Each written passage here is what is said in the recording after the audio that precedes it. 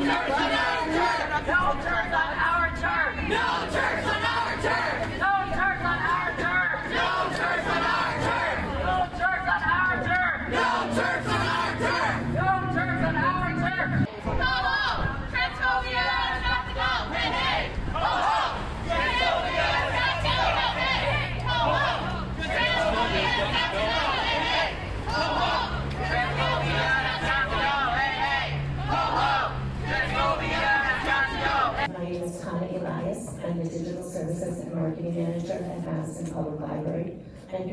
short statement um, based on the level of interest that we've had on this event. The library is a welcoming and inclusive space that represents all members of our community. Our policy states that we make meeting rooms available to the public we serve on an equitable basis, regardless of the beliefs or affiliations of individuals or groups requesting their use. Standing up for intellectual freedom is a core value of public libraries, and it is based on the belief that society is better off engaging with complex, difficult, and even controversial content rather than sup- suppressing the free expression of ideas through censorship. In that spirit, we ask, in that spirit, we ask that event participants follow our behavior policy at all times during this event. Participants must refrain from intentionally interrupting or disrupting the event. Failure to do so will result in a warning, followed by being asked to leave the event or to leave the library for the day. Thank you.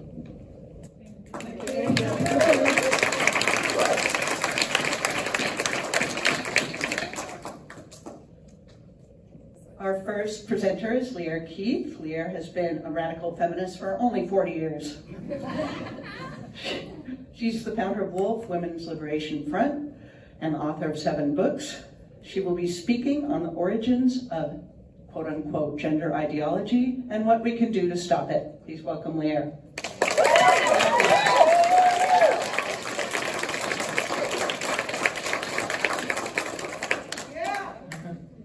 So this record came out in 1972, which was also the year that my mother went to consciousness raising.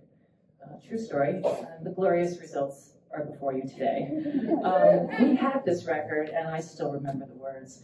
And I remember going around the schoolyard and asking the girls, one by one, Are you for women's lib?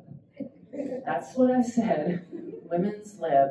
I was seven years old. But I wanted to know who had my back, who was going to dig down and find some courage and fight for women. I'm 57 now. I've lost every battle I fought, but I'm still asking, are you for women's lib?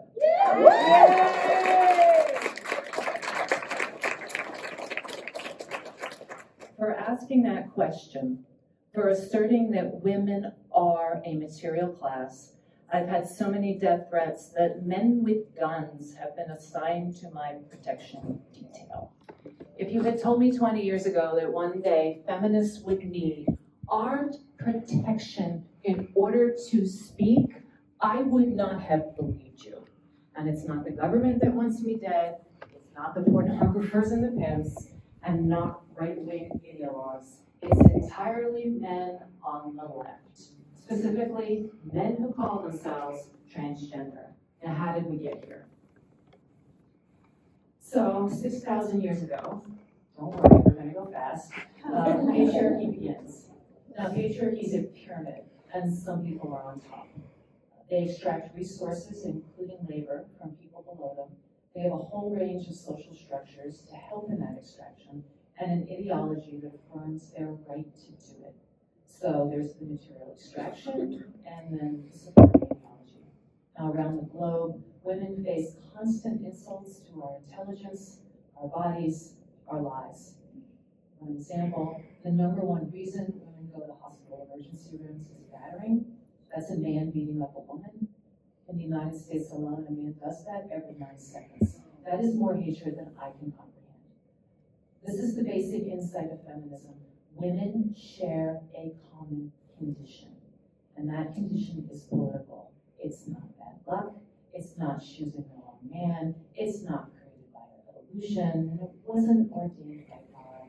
None of these horrors are inevitable. which means our biology is not the problem. According to the UN, sex is the biological and physiological characteristics that define men and women. So mm-hmm. sex is simply a fact. Mm-hmm. Gender, on the other hand, is the socially constructed roles, behaviors, activities considered appropriate for men and women. That's the problem. Gender is the extraction and the ideology. So for male dominance to continue, every generation of boys has to be molded into dominators. Being a quote real man requires a psychology of entitlement, emotional numbness, and a dichotomy of self and other. Now, central to masculinity is a violation imperative. Men become quote real men by breaking boundaries. For the entitled psyche, the only reason no exists is because it's a sexual thrill to force past it. The real brilliance of patriarchy is right here. It doesn't just naturalize oppression, it sexualizes acts of oppression. It eroticizes domination and submission, and then institutionalizes them as masculinity and femininity. So it naturalizes, it eroticizes, and then it institutionalizes domination and submission. And that's brilliant. The brilliance of feminism is that we figured that out.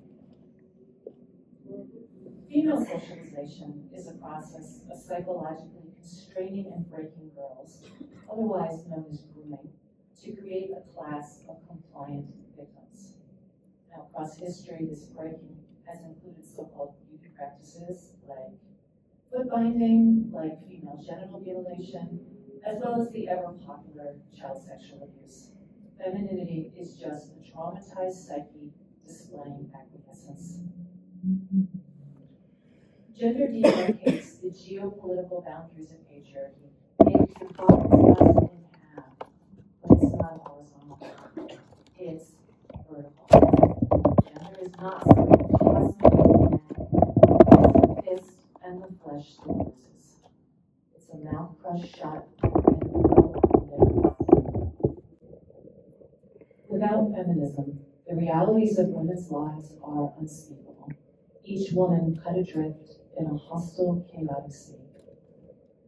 Apply the words sex class, and that chaos snaps into a sharp pattern of subordination from the small daily insults to body and soul to the shattering traumas of incest and rape. The crimes men commit against women are done because women belong to a subordinate class, and they're done to keep women a subordinate class. It's not personal and it's not random. It's political and it's unjust.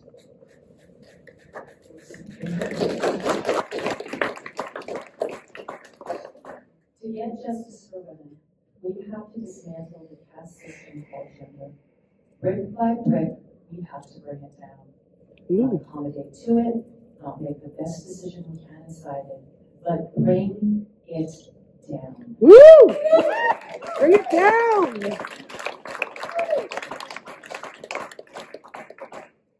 And now we come to the newest brick in that system, transgenderism. Reading the words of girls who think they are transgender has broken my heart. And in their own words, this is what makes them transgender. Mhm. I like skateboarding, I love math, I want short hair, I hate my body. They want physical freedom, a life of intellectual pursuits, and bodily integrity. They want to be human beings, not objects. Now, feminism is very simple. It says all women are human beings, not objects. That's right. Feminism is also very hard because, in the words of Andrea Dworkin, it requires precisely what patriarchy destroys in women unimpeachable bravery in confronting power. Now, transgenderism is also very simple. It claims some people like being objects, and those people are called women. Other people don't like being objects, and they're called men. This is innate, immutable, created by God or evolution or hormones or something, because clearly women's little brains can't handle the rigors of skateboarding or math. Instead, we are compelled by God or evolution or hormones to be pink, precious princesses. And when we age out of that, the pornographers are waiting. Mm-hmm. 12 billion searches for teen porn. 14 year old girls aren't stupid. The only world they see is a cage made by men and their predictions. Mm-hmm. The only feminism they see is a celebration of collusion, not any kind of resistance. The personal isn't political now. The personal is personal. And some girls hate their bodies because they are really boys. This is the way out. Refuse to see yourself in other girls. Deny the caste you all inhabit and the system that puts you there. You are a human being. The other girls aren't. Any root to sisterhood, any rumor of female solidarity, any last whisper that once there were women who were warriors is gone. In my teen years, we punished our bodies with eating disorders and self-harm. And yeah, those spread by wild social contagion. Those practices have now been medicalized and institutionalized. Your doctor will take care of that horrifying female back with chemical injections, and your surgeon will do the cutting for you. And many of the girls who are shunted down the path would grow up to be lesbians. Young lesbians are being gutted of their uteruses, their ovaries destroyed, their breasts sliced away, and their vaginas atrophied, all before they can vote. Free to be a human being through chemicals and surgery. Mm-hmm. They should be our next generation of warriors, and instead the battlefield is their female flesh. Exactly. The loss is not just individual.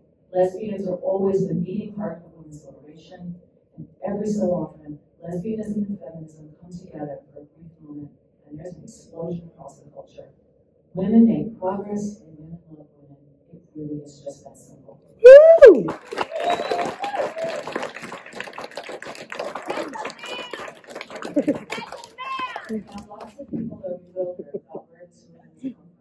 Why are there so many of these men all of a sudden? Here's the answer: pornography. Mm-hmm.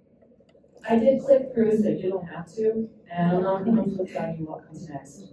But I will tell you there's one woman being choked, one woman having her head yanked back by her hair, a woman crying in pain, on an endless page of women being objectified, hurt, and sold for money. Mm-hmm. And there's 13 billion search hits for this.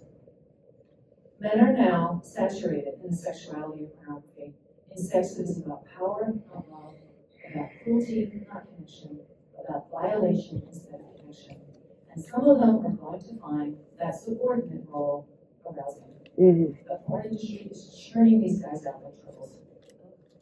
Well, this is what men are doing to themselves with porn. This is what they think a woman is. In real life, these are the images that women are drowned in. A relentless display of women reduced to body parts, turned into objects, willingly abused and loving it.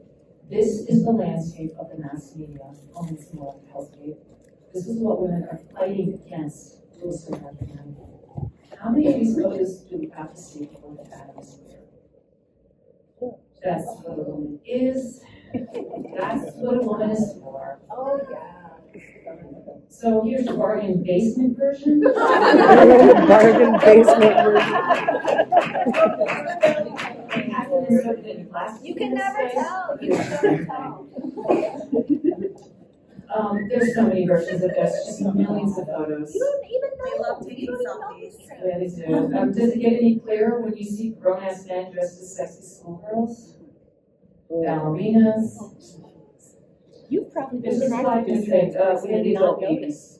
And if you don't think that that has real world consequences, talk to me about David Challoner during the Q and A. So, and this is what, what is waiting for these guys, an entire genre called sissification or forced feminization porn. I don't have the heart to, sh- to show you what this looks like, but it's men taking on aspects of femininity as humiliation and pain for the purpose of sexual arousal. So cross-dressing, getting hold of woman's name, being anally penetrated with giant dildos, or like literally a man's whole arm, wearing fake breasts or high heels being led around on a chain in public. It is horrible watching human beings get hurt. But until you enter this world a tiny bit, you will never understand the nature of this movement. This is where they are coming from. This is the hell. Some of them will even admit it in public. This is Mr. Andrea Long Chu Know him. whose book, Females A Concern, was reviewed in none other than the New York Times. So here's a quote. Femaleness is a universal sex defined by self-negation. I'll define as female any psychic operation in which the self is sacrificed to make room for the desires of another. The barest essentials of femaleness are an open mouth, an expectant asshole, blank, blank eyes. Now that's what they think these men think what a woman is. Mm-hmm. And they want women, they want to be women because subordination gives them a hard on. I'm sorry to That's be so right. crude, but that is the driving force behind this movement. That's right. Yeah, they've got a few billionaires, but that's what powers it, not Billionaires like it too. the driver is the paraphilia. The name for this is autogynephilia. This term was coined by Dr. Lee Blanchard. These men are sexually aroused by the thought of themselves as women. Now, it is now considered the worst kind of transphobia to mention autogynephilia when we say it. Meanwhile, many of them freely admit it. Missing a slide, I don't know. Mr. Andrea Long Chu again saying, uh, autogynephilia describes not an obscure paraphilic affliction, but rather the basic structure of all human sexuality. This is not just because everyone has an erotic image of themselves as female, they do, but the assimilation of any erotic image is by nature female. So he, his claim is that he's a woman, but the way he gets in is by insisting that, hey, everyone's a woman. But the reason he wants to be a woman is because a woman is the thing on which acts are done, and that idea gives him a thrill. This is wild. No other oppressed group in the history of the planet would be expected to put up with it. And if you think Mr. Andre is a one-off, this was in the New York Times a few months ago. So because some men find the word woman offensive, the New York Times has decided that individuals who have receptive vaginal sex is a reasonable replacement for the word woman. No. Women are passive sexual receptacles for an active male agent. This matches rather precisely how Mr. Andrea defines woman, and it is, of course, the entire endless point of pornography. Or as Catharine MacKinnon said so succinctly, man fucks woman, subject, verb, object. Yep. Now, you're allowed to get angry at this. You don't have to keep being this. That's right. Don't worry, we won't. One reason we are losing this war is because women refuse to face the nature of these men. Oh, the poor dears suffer from gender dysphoria. No, they don't. Their suffering is entirely self-inflicted. They are obsessed with their subordination fetish to the point that it takes over their personalities and their lives, and they don't care who they destroy in the process. You can ask the women and children who have survived these men. Their stories are horribly the same, used by narcissistic, abusive men who demand full servicing of their sexual desires. Okay, we say biology is real, and that humans are a sexually dimorphic species. This doesn't seem controversial, but the gender have made it so. They insist that biology is a social construct because suddenly, after two billion years, sex is a spectrum and something about seahorses. Don't forget the clownfish. Get the clownfish. Gender is women's oppression, and we've got centuries of mutilated feet, genitals, and rib cages to back us up. That's right. They say no, gender is great fun. The only problem is we don't get to choose between the dominant and the subordinate roles. That's right. Some men really want the submissive role, and they are enraged when they are denied. The name for that is aggrieved entitlement. Take that home, you're going to need it. Our solution is to dismantle. Their solution runs into trouble. They know that biology is not a story that humans made up. They can't dismantle it. So the best they can do is stop anyone from talking about it. Mm-hmm. Our best outcome would be women's liberation. Their best outcome? Well, women are losing the ability to talk about sex-based oppression since sex doesn't exist. The women on the front lines are, as ever, the least of us. This is what's happening to women.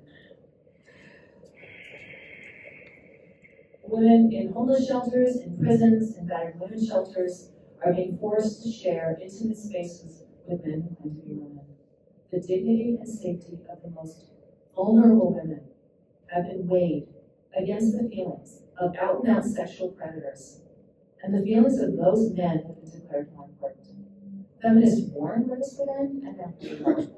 I want everyone to imagine the terror of being locked in an eight by ten cell with a serial sex killer. Yep. This is happening to women. Yep. And in the California prison where this is happening, women are sleeping in shifts because none of them are safe to shut their eyes. Mm-hmm. Um, and this is happening to women. A woman in the UK was in the hospital in what was supposed to be a woman-only ward, only there was a man there, and he raped her. Now that's horrible enough, but what happened next defies description. For an entire year, both the hospital and the police refused, refused to do anything except repeat that no men were there, so there was no rape. An entire year. The only reason she was able to crowbar some justice out of anyone was because there was CCTV video all over the hospital and there was footage of her rape.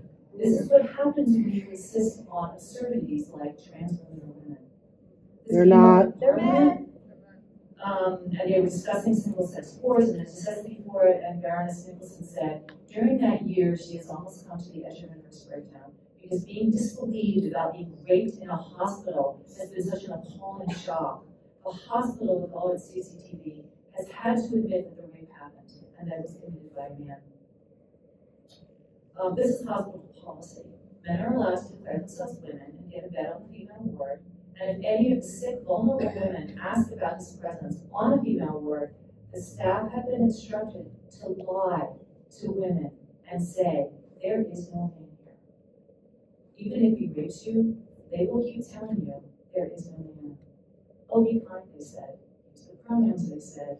What does it cost you, they said. And now here we are. So ultimately, the genderists want to liberate men's sexual fetishes. This is a men's sexual rights movement, and for that, they need women's subordination. Now, we expected authoritarians from the right. We weren't prepared for it from the left. Women have lost their jobs, they've lost careers, they've lost publishers, they've lost custody of their kids, and they've been physically assaulted. The most basic facts of biology are now considered hate speech, which means the reality of women's lives is back to being unspeakable. The worst part is, no one believes us. I'm not budging from this. No one is born with their own body. Your body is yours and a miracle. It's patriarchy that hates you, not me. The right wing brand of patriarchy says, if your personality doesn't match your body, change your personality. The left wing brand offers to change your body to match your personality. And by change, what they mean is chemicals and surgeries that will destroy your fertility, your sex organs, your bones, your liver, your heart, and your lifespan. I have no word for this except sadism. Meanwhile, feminists are still here, still arguing for the inviolable integrity of every human body and your right to inhabit yours, no matter who you are. There is nothing wrong with you. The situation stands, civic institutions that were built as a bulwark against power are crumbling. The ACLU has actively tried to keep citizens from accessing Freedom of Information Act requests. The American Booksellers Association has declared a feminist book hate speech. Journalists are afraid of losing their jobs. If all of this doesn't chill you, nothing will. At Harvard, a professor is in trouble for saying pregnant women. Academia has fallen. Though Hogwarts still stands. and people I counted as friends and comrades just want to keep their heads down so they can keep their jobs, hoping that the fever will break because this can't go on. Well, it can, and it can get worse. Mm-hmm. Now I'm asking the same question I did as a child. Are you for women's liberation? I still want to know who has my back. I want to know who's going to find that unimpeachable bravery and confront male power. And if we can't do it for ourselves, we have to do it for her. Because there is no one else to do it. So one more time. Are you for women's lib? Woo!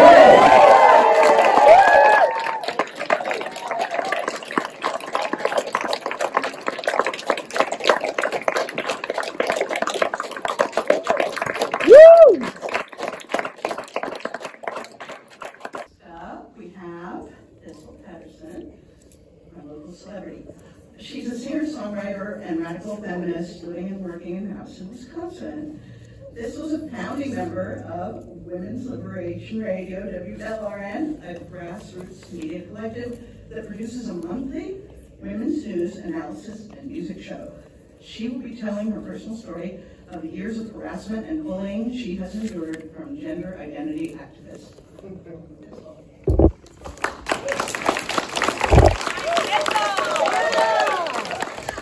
The song I just played Michael reminds me of the days I spent in Northern California after a long bicycle music tour down the West Coast. I practiced ecstatic dance once a week for nine months in a lovely community center near Garberville on Sundays at an event we fondly referred to as Dance Church. I founded a weekly ecstatic dance practice here in Madison after I got back from my bicycle adventures in 2007. It was mostly women who came and participated, though we didn't have a rule that it be women only. Um, and it was once a week on Sundays at Main Street Yoga right here in Madison. And I did this for five years. Through the years, there were a few men who were asked to leave because they made women feel uncomfortable by leering at them or even sometimes making lewd gestures and touching inappropriately. Not all of the men who joined us did this, but the few who did were asked to leave, except for one. um, there was a man who joined and asked to be referred to as she, um, which I thought nothing of at the time. This was like 2012, 2013. And I was fine with him being on the dance floor with us. He would wear mini skirts sometimes, but mostly he kept to himself and I did not feel uncomfortable until one Sunday I looked up and I saw him touching himself and licking his lips during the dance. I told another woman leader in a private meeting what I had seen and I referred to him as he when I did this. And she corrected me and reminded me that he wanted to be referred to as she and also that she thought that I was big enough to just tolerate him and that we didn't need to take any action. And so after that, I didn't feel comfortable anymore going to dance church. The year was 2013 and I was just waking up to what this whole transgender craze is. And I knew that I couldn't stay with this male dancer being allowed to behave how he did and me being required to call him she. So that's just one story of many that have occurred here in this mad city. I am sure there are other women in the audience today who have had a similar experience at work, school, or at some event here in Madison. Thank you all for coming to support me in particular, but to support the cause of women's freedom of expression and ability to be in public without harassment. Thank you. But by harassment, I mean harassment threats of violence online, ostracizing, hounding, stalking, and launching campaigns against an individual's place or places of employment and their reputation. Just to be clear, I do not think that disagreement constitutes harassment and any of and any of any kind, but rather one's right to disagree and publicly defend one's arguments is fundamental to democracy. What follows are stories of me getting harassed and forced out of Madison's establishment, leftist organizations, publications, and groups due to never backing down on my position that there is no such thing as a special kind of man who is actually a woman. That's right. I don't refer to men as she, no matter how much they may have altered their appearance with expensive cosmetic surgeries and hormones to appear female, or gone to St. Vinny's and done the, uh, what was it, the basement variety of a, an outfit. I find this trend to be incredibly disrespectful to women, as if we are some sort of costume a man can put on, and I refer to, the, I refer to this uh, practice as woman face to emphasize the disrespect of women I find inherent in the practice of pretending. And I mean all of the people around the man too, not just the man. All of us pretending that um, this special man is female. Um, that, and, um, okay. In a recent hit piece in Tone Madison, a local online publication, the author Emily Mills calls me a martyr for the cause, which got me to thinking about how I never intended to be anyone's martyr. I am a thistle growing up through the cracks of the sidewalk. An eco-primitivist radical, not a martyr. I remember in 2011, I was on a talk radio show with my band Thistle and Thorns right before we went on tour, and the host called my lifestyle of riding bikes long distances, camping along the way, and playing shows a sacrifice. And I remember responding, as did members of my band who were involved in the mobile villages of bike riders I co-created back then, that it's not a sacrifice to rely on yourself and your intentional community in nature to figure things out, right, Tiffany? um, so, uh, uh, uh, lost my place, sorry. Figure things out. You got it. Yes, Thank you. Um, for me, my lifestyle, for me, my lifestyle will always be Lily. Low impact luxury living. That's the term we use to describe our choices to be out in the open breeze on bikes instead of inside a building at an office desk or waiting tables or driving a cab. It is liberating to tell the truth and to feel the breeze on your face as you ride. I don't feel like a martyr. I feel like a woman liberated from patriarchal control. Yeah.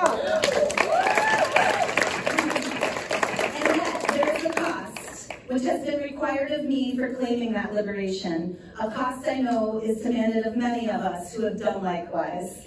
There are two Madisons that I'm addressing today. The first is the Madison establishment left, as represented by WORT 89.9 FM, the Wilmar Neighborhood Center, Wisconsin Network for Peace, Justice, and Sustainability, the Crystal Corner Bar, Tone Madison, and Our Lives Magazine. All of these established media outlets, organizations, and venues in Madison have excluded, defamed, and shunned me in the name of inclusivity because I have publicly made it known that I don't agree with the transgender narrative, that I dissent from its political demands. I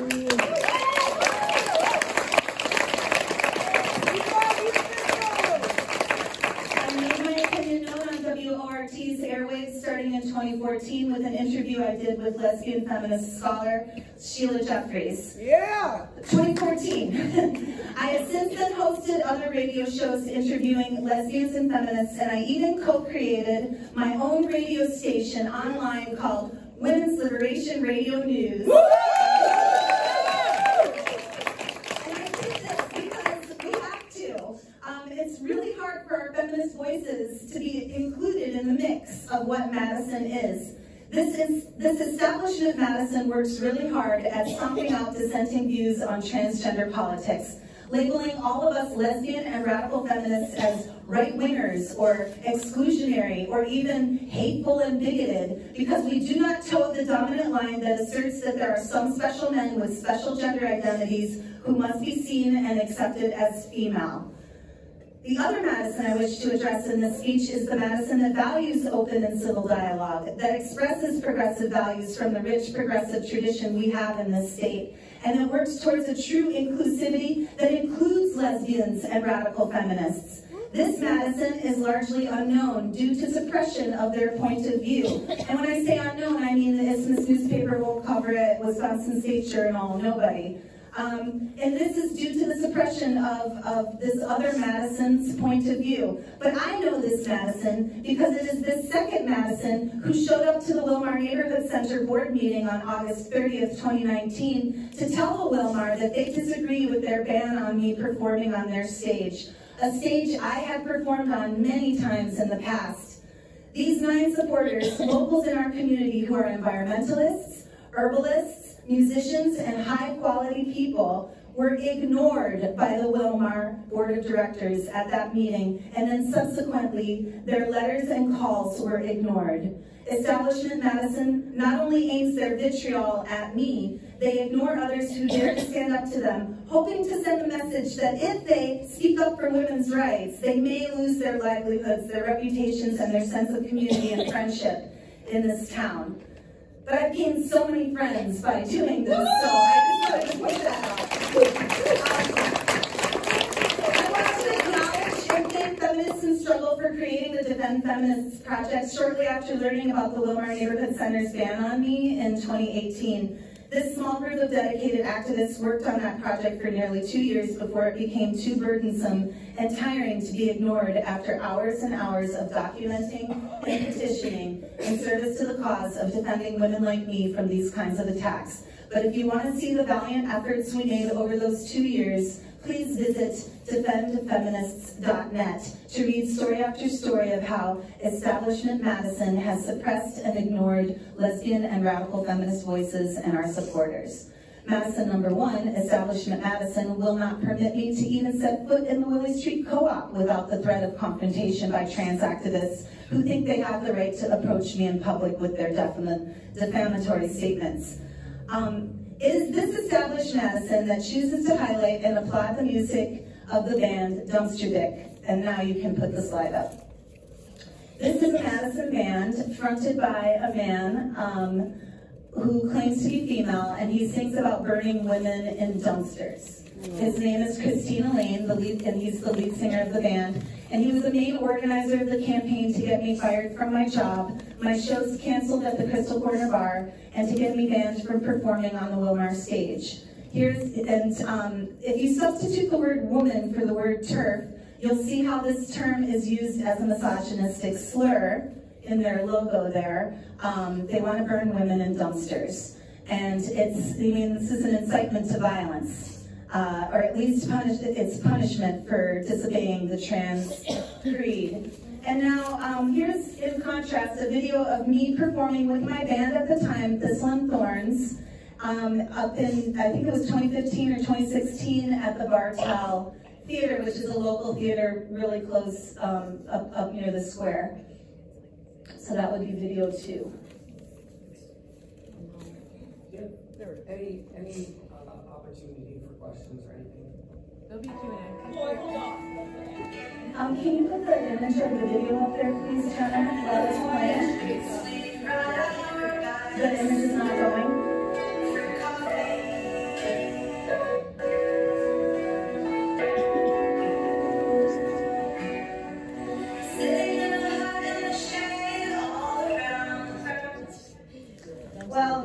There was an image up there that was supposed to be up there of me playing, and now, and there's supposed to be an image for this next one too, but will there be an image for this next one? Jenna? It looks Video like, three? It looks like the audio is playing and the video, the image is not moving. That's what it looks Oh. Yeah, so the, the audio is. Okay, so you heard that music, now you're gonna hear Dumpster Dick singing about burning women in dumpsters. Go ahead.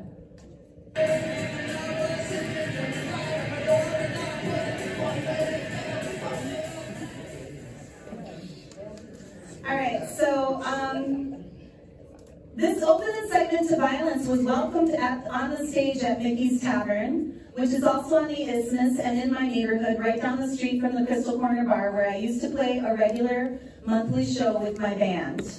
My question for Inclusive Establishment Madison is this. How is Madison's music scene and culture benefiting from the exclusion of me and my folk music and the inclusion of Dumpster Dick, a band whose very name screams misogyny? How is Madison's music scene enriched and enlivened by this choice to embrace Dumpster Dick and to ban Thistle and Thorns? For the record, I don't like Dumpster Dick's music, but I would never organize a group to demand they be banned from performing and blacklisted at the same venues my band used to play at.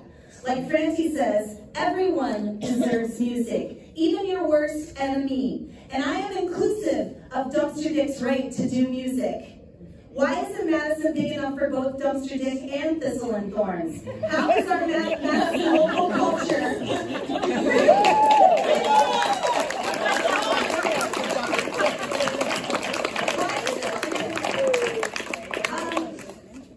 How is our Madison local culture elevated by this choice to exclude me? The answer, of course, is that it is not. It is dumbed down and it is dangerously moving into the territory of authoritarianism by including music or by excluding music that does not even talk about trans because it is not about them just because I did a few radio shows on WORT highlighting women's concerns about the incoherent concept of gender identity, Establishment Madison is dumbing down Madison's music scene rather than lifting it up.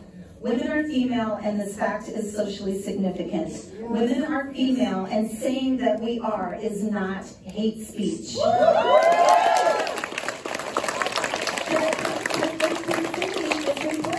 For example, in public spaces, such as at a restaurant, or on the community, such as at a restaurant, or on the community radio station. The law rightly protects access by the public to public accommodations, prohibiting a refusal of service because of their sex, ethnicity, race, or personal beliefs in a free society. Access to the public airwaves used to be governed by the Fairness Doctrine, at least until the corporate capture of the FCC repealed the concept. But even then, our community-owned radio stations were supposed to be a place where, in the words of WORT's own mission statement, the station exists to serve a broad spectrum of the community by challenging the cultural and intellectual assumptions of our listeners through unique and diverse programming. We want to include everyone in these public spaces, or at least we used to. Now in the name of inclusion, we exclude women's challenges to some men's intellectual assumptions.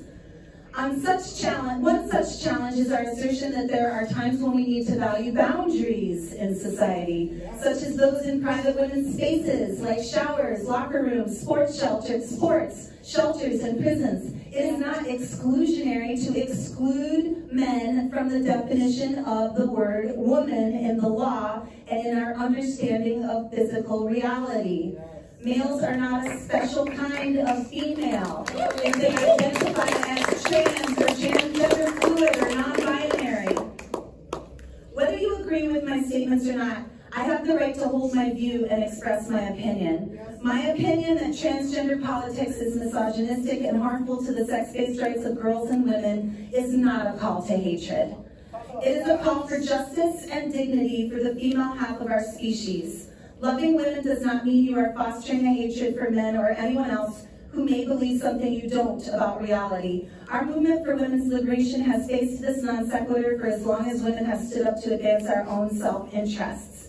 Let me back up for a moment. With the occupation of the Wisconsin Capitol building in 2011, the contemporary Occupy movement was transported from Cairo's Tahrir Square to our shores, starting here in Madison. I have faith in our progressive community and in the solidarity we have built. I naively thought it would always be like that. You can put the next slide up.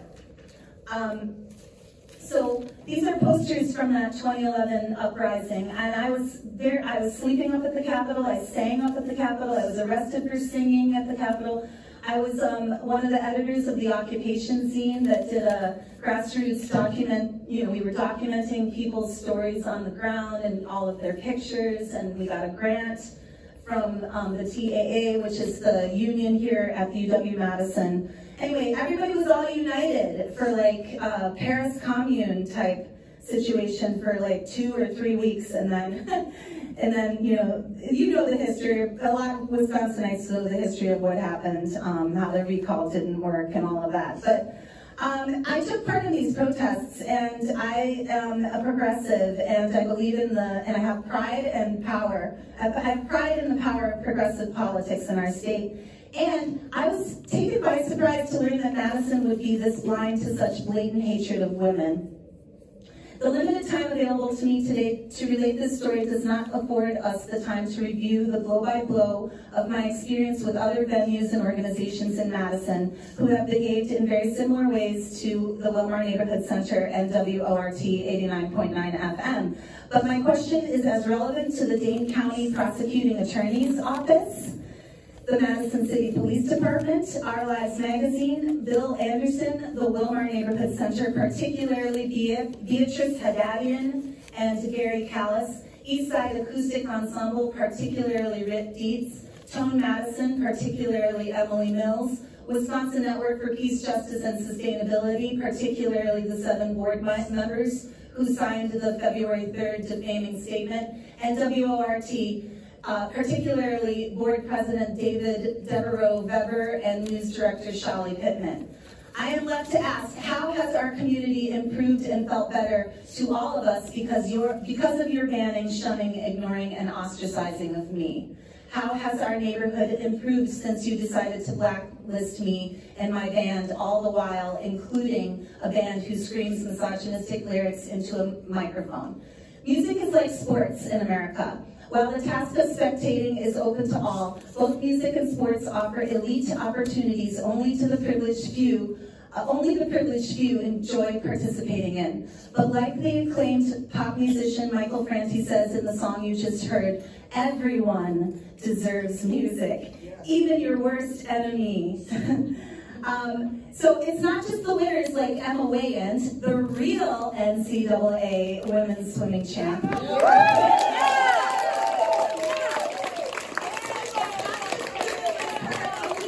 athletes who need access to sports opportunities. Think of the soccer team at your local elementary school.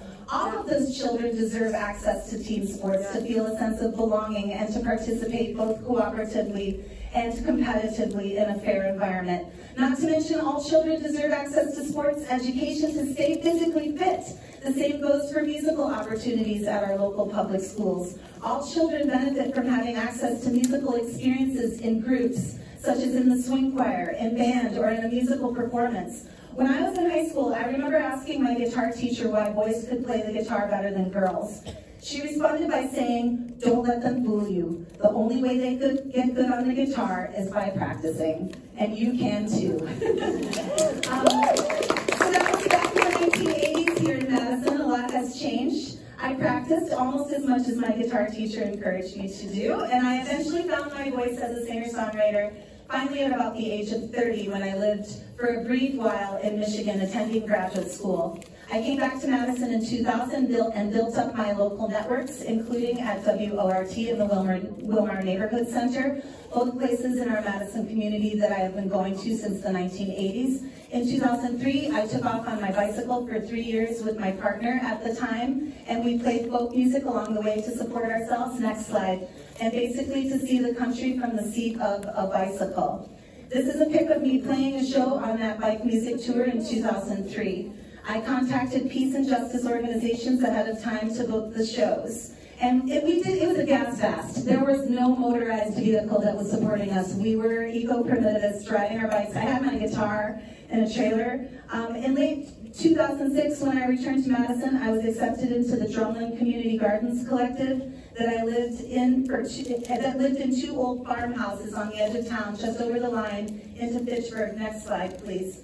I lived there in intentional community, organizing among the Latino families who were our neighbors first, who were our neighbors, to plant on the farmland near the two houses we rented with the intention to build an anti-racist community neighborhood farming project that was in active resistance to the Alexander Company, a development company that wished to build a hotel and parking lot right on top of the gardens we were cultivating. Joni Mitchell had it right. By 2009, the Drumlin project had ended, but not without us putting up quite a fight to stop the land from being paved over.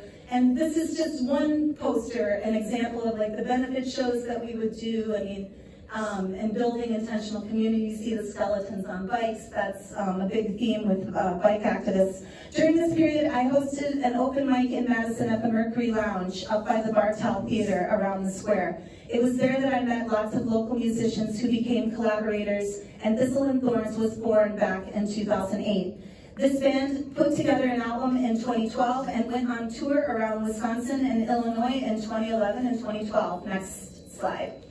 Um, so this is, you see the skeletons on bicycles and the thorny, the thorny crowns with roses and the thistle and her thorns going on tour during Earth Week, so this very week, um, nine years ago. Um, and note that the Earth First Journal said this about uh, my music. Thistle's voice is provocative and powerful. With raspy realism, her lyrics paint a picture of life on the road via bicycle, rage about the killing of the earth, and a commitment to fight back. I just wanted to point that out in case it wasn't abundantly clear by now that contradicting what Emily Mills says about me and the feminists that I work with, I am about the farthest thing from a Republican right-winger you could possibly be. Okay, next slide.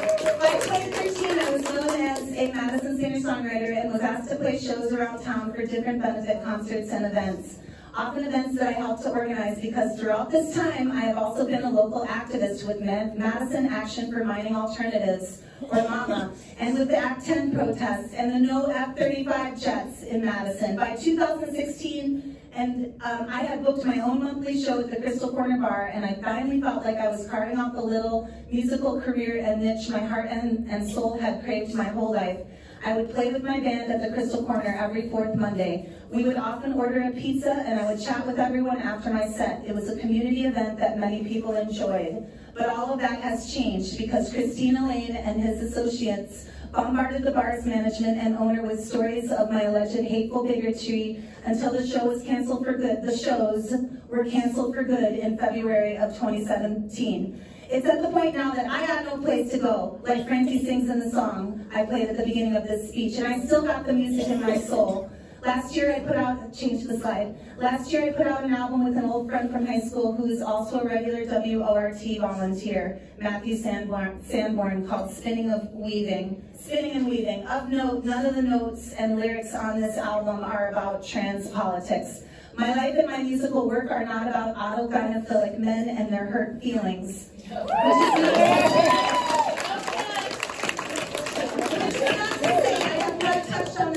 in my musical work. You can hear my music critical of gender ideology and its adverse impact on women by visiting WLRN's SoundCloud page.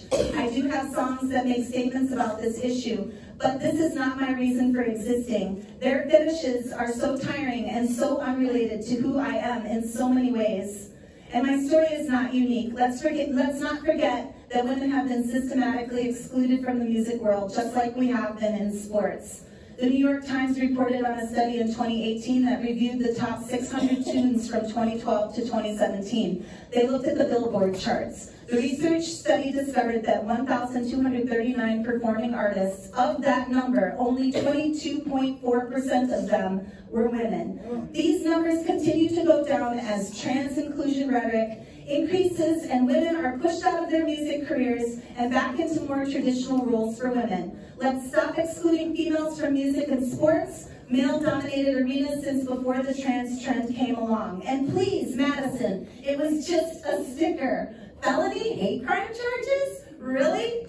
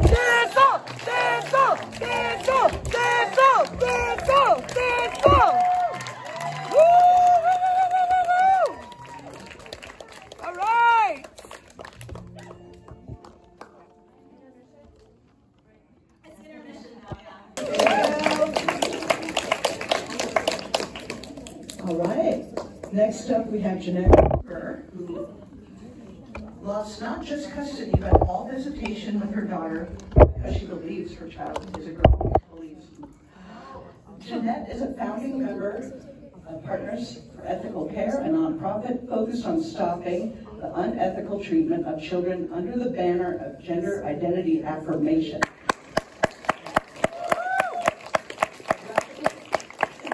A radical feminist for 15 years, Jeannette writes about the possibilities of womanhood at Dear Daughter Love Mom, all one word, dot com, with the goal of gender abolition. Please welcome Jeannette. Yeah, Jeannette! Love you! Good afternoon. Sisters, I need to hear your voices. Good afternoon. Good afternoon! Beautiful sound on this earth, the sound of women's voices in solidarity. Thank you. Woo, woo, woo! Before we swatch through this mess, that is motherhood and gender ideology, I need to ask a few favors. I know that I have not given you anything. And yet I am coming to you asking you for something. But sisters, I would not ask you for something that you cannot give. It is not money, not today. It is not a place to sleep, at least not for tonight. It is not a bra. I have no need or want for that. It is not a cat. I have many. What I need is for every one of us to give gratitude to the women who have made this event possible, our sisters, Gaia girls and old crones, those who have shared their hands and their hearts, dedicated their dollars and their time, moved mountains and materials, the people at podiums, and the one present in this room to bear witness to these stories and this day that we stand together in solidarity with one another. We need each and every one of us. No one of us is expendable, not disposable, not erasable, not transitionable.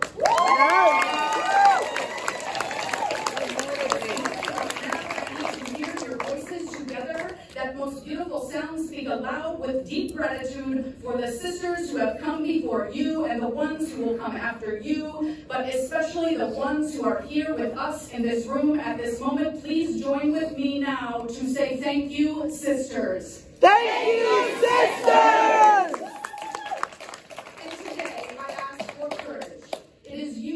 brought us to this moment, this place, this time, this public platform to share ideas and practice that messiness that is the pluralistic democracy of America, and here we are. You brought me here, and now look at me asking you for more. But you can it. You are capable of giving me the strength to speak the wall of a womanly welcome with your voices. You can speak this word aloud in those voices that brought a smile to my face. I ask you now, in your most powerful, most fierce voice, to shout aloud, courage. Courage! Courage! Courage! Courage! Solidarity. Now that I am certain that you know what it means, that you have practiced it with your voice, I am certain that you will be here with me, walk with me, as I drag us through this mess. Yay. Today, I will talk about mothers and what we owe them. We all have one. I have one. She is watching this happen right now online. Oh.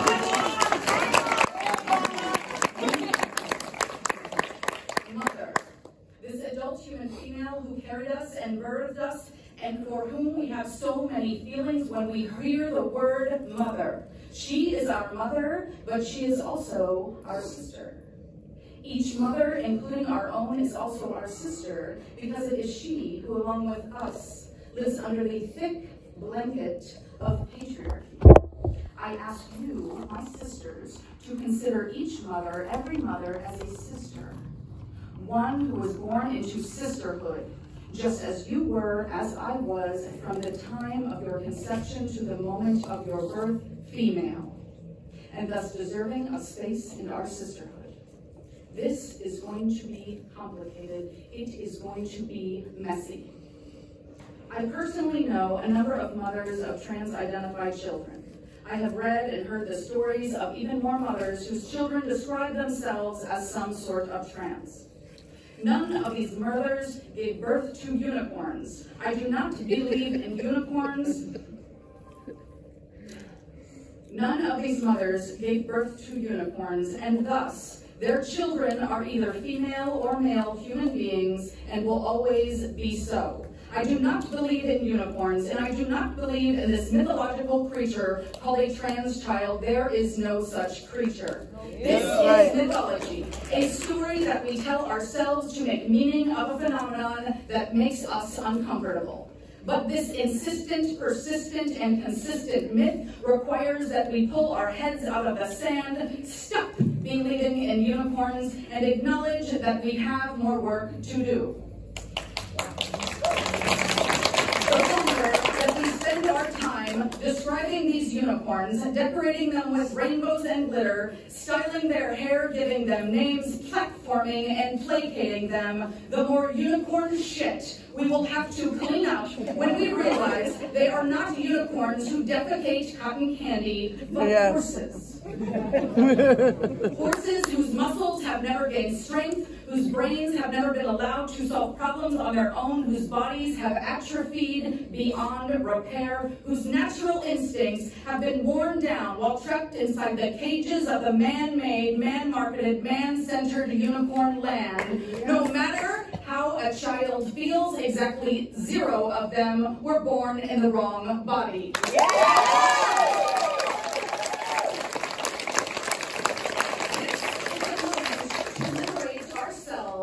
From this mess. It is time to clean it up. I am a mother. I gave birth to a girl. Her name is Sophia. Please manifest her presence in this room by saying her name, Sophia, aloud with me. Sophia! She has been the absolute love of my life. And I continue to be grateful that some sort of miracle brought her into my life as my one and only child. If I would describe her to you now, I would need piles of dictionaries, mountains of synonyms, truckloads of analogies, but they would all equal the same word amazing. But while gasping for breath under the heavy blanket of patriarchy, she saw an opening, not toward liberation, but downward, toward the false flame that is gender. Yes. She carved her path toward that light, as has become normal for an adolescent girl seeking relief from the stifling suffocation that accompanies an entry into the body of a woman and into a society determined to sexualize her spirit. Despite spending her August summers from age two at the land in Michigan that many of us call home, she had not yet grown to believe that sisterhood was a path to power and peace.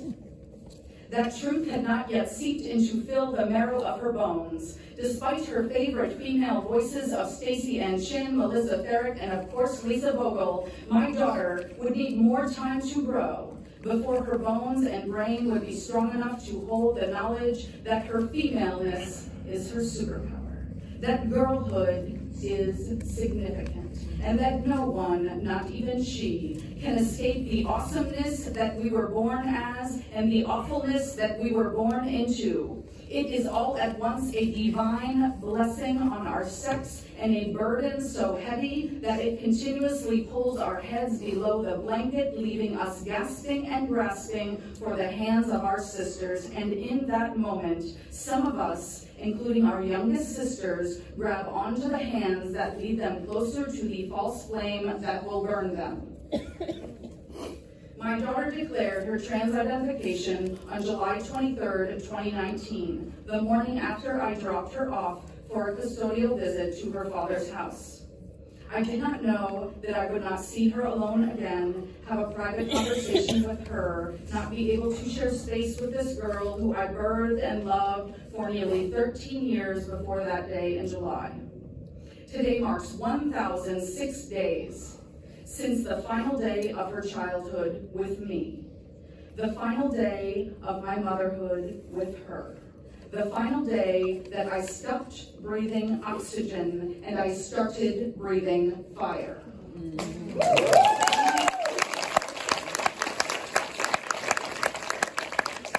But it is not my motherhood on which I wish to reflect today.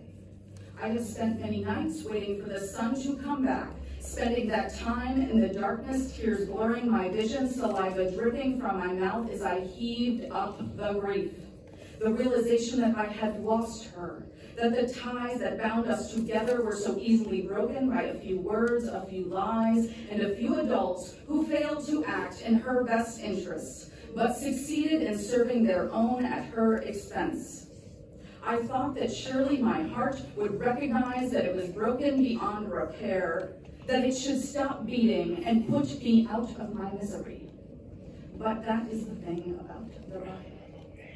It is not something we can control for better or worse. Since those days of despair, I have unburied the sun and I carry her with me. She lights my path. And hopefully she can light yours too when you cannot find your own light, when you have not yet unburied your sun and do not yet know how to keep yourself warm in that darkness. That darkness that is not forever. Sisters, you gave me that sun, that warmth, that light when you gave me courage just a few moments ago. And now I ask you more for more courage as we get deeper into this mess. Please, sisters, feed me again with your voices. Let me hear you say it. Courage. Courage! Thank you for that beautiful sound. Now walk with me to survey this mess. Today, I reflect on the mothers I see in this landscape before I focus on one particular mother who needs our compassion and our sisterhood. Mothers in this are not a monolith. After nearly three years observing with curiosity and reflection, I have come to see a certain number of things that I cannot unsee. First, the mothers who hold the line and hold up a mirror to themselves.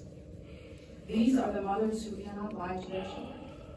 These are the mothers who are pushed and pulled and posted as pariahs on playgrounds and parent-teacher conferences because they will not play the pronoun game. These are the mothers who suffer the isolation of family and friends deserting them left and right, uninviting, unfriending, blocking, and backstabbing. It is these mothers who are learning the hard way, who is capable of caring, capable of coming to the table, bringing her a meal, holding her steady when she is ready to fall. These are the mothers who need you and me and us. These mothers have strength, but they need more. These mothers have courage, but they need more. Let us speak to these mothers in this moment, giving them the courage that they need, giving them what they need to hold the line that will protect their children from the harms of gender identity. Please give them what they are owed. Please, sisters, I want to hear you say thank you. Thank you! Now, sisters, give them the strength to continue to hold the line, please let me hear you give them courage. Courage! Mothers, did you hear that? Did you hear the voices of the women who will go with you to the school board meeting, stand with you as you testify at the State House, sit with you while you cry? Did you hear the voices giving you the courage to ask for the help that you need? You deserve their help because you, my mothers, holding the line, have held a mirror toward yourself. You have done the work. You have done dug deep inside yourself and your past and acknowledged those ways that you have failed to be the perfect mother. You have compassion for your child. You acknowledge that your child has suffering, has suffered and is suffering, and you are doing the work of holding the line with compassion for yourself and for your child. You have looked at your actions in the past, dissected the patterns and pitfalls of living a life led from a place of unprocessed, unrepaired, and unrepentant trauma. You have committed to being a better mother because you can. You have grown. You have made a new life, new friends, new ways of being. You have carved a path forward for yourself that is not just a road running parallel to the road that you were traveling before you have grown. You have done exactly what you have told your children not to do. You have met strangers on the internet, become friends with them, learned to smile more and cry less. You have learned that your supply of tears is finite, but your supply of laughter is not. And these women, my sisters in this room, and those hearing my voice, will stand beside you. We commit to showing and sharing our power with you to end this mess. Yes. Let us say it once again to these mothers holding the line. Let us give them courage. Courage! It is time, my sisters, to consider the other mothers. And this is a mess. Mothers who carved a parallel path. The mothers who hold the line, but you dare not cross it. These mothers are not so easy to call sisters. These are the mothers who need more time, more strength, and more of something they can only give themselves. These are the mothers who Jennifer Bilek actually accurate, accurately describes as the ROGD parent, a whole and complete identity mirroring the same patriarchal system, same cult-like qualities, same inability to grow, same mirror on their chest facing toward everyone else, same learned behaviors that their children have, but the difference is they are adults, not children. Mm-hmm. They have much more agency over their lives than they are willing to admit. They seem to seek your sympathy, but it is sinister. Mm-hmm. They may not play the pronoun game, but they play many others. They find fault in everyone and everything but themselves. Mm. These mothers appear to hold the line, but they are trapped inside themselves, and if you are not careful, they will trap you too. But these women our sisters. So what do we do with that? And I call upon you to have compassion for these mothers too. These mothers have lived inside the system of patriarchy that taught them this self-centeredness, that taught them that their worth is given by someone else, that taught them that their identity is wholly and completely enmeshed and immersed inside the identity of someone else. Hold compassion for these mothers too, but keep yourself outside of their line. You will be sucked in so swiftly, spit out so quickly, and trauma will be multiplied and unmanaged and messy. Hold yourself close to them, but hold yourself steady. Help them out of their mistakes, but do not allow yourself to make your own. Give support, but do not enable. Let me speak to these mothers at this moment. Sister, I can see that your trauma has taught you that you are the one who is suffering the most and are powerless to forces beyond your control, that you have no choice but to dedicate your time, your emotions, your tears to this movement, but that is a lie. You deserve a life, sister. You deserve to be human.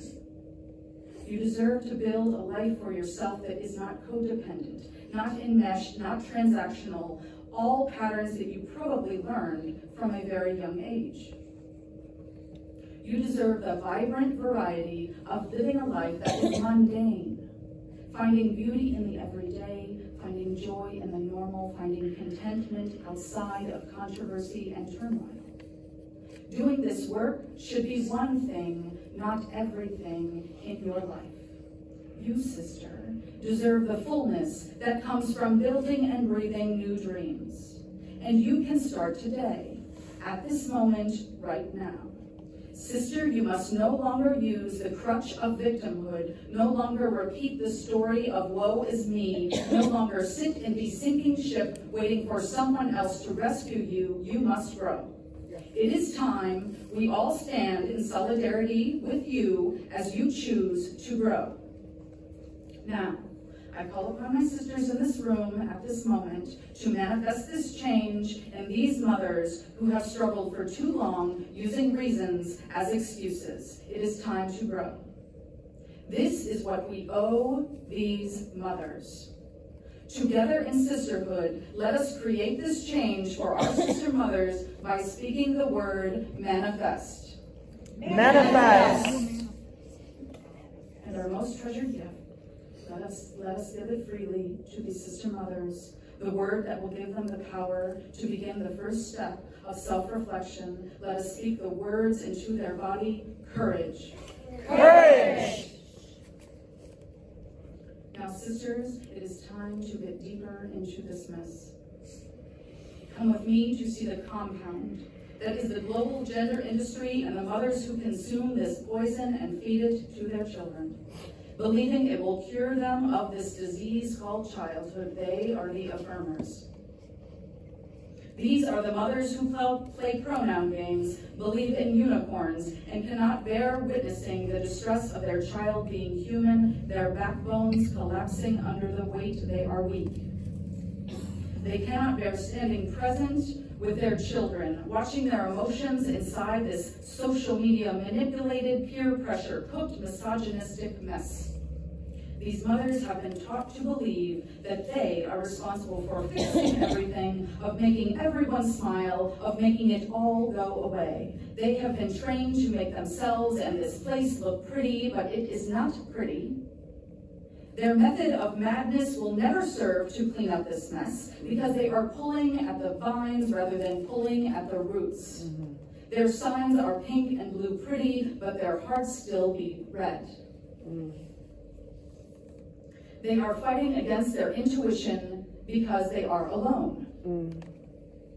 These mothers do not have the strength that comes when you stand beside your sisters in solidarity. These mothers are scared of losing their family, losing their friends, losing their jobs, and losing their child. Right. And it is up to you, to me, to us, to hold the truth in front of our face, but not shove it down their throats. It is up to you, to me, to us, to set a space at our table to invite and invite and invite again, to show these mothers what strength looks like, what sisterhood looks like, and what they gain when they pick up the line and hold it.